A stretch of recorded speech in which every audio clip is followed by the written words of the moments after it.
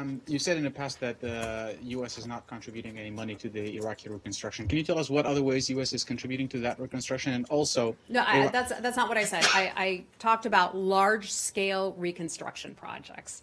In the past, the U.S. government and many of you um, reporters who've been around for a bit uh, remember this: that during the Bush administration and other administrations, we would do these large-scale projects of building roads and building tunnels and bridges and all of that to provide that for uh, communities in Iraq and Afghanistan. That's not what we're doing today. We are helping with reconstruction, certainly.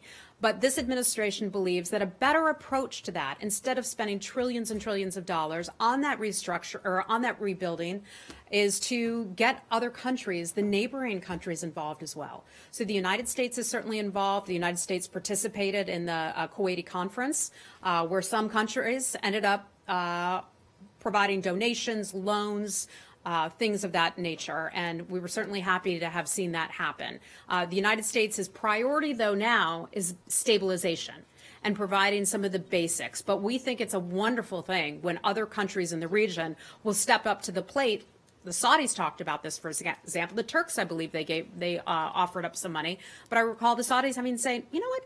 We're interested in this. We're interested in helping out um, our neighbors and seeing what we can do about reconstruction. And there were more than 2,000 people or companies uh, who were involved in that Kuwait conference.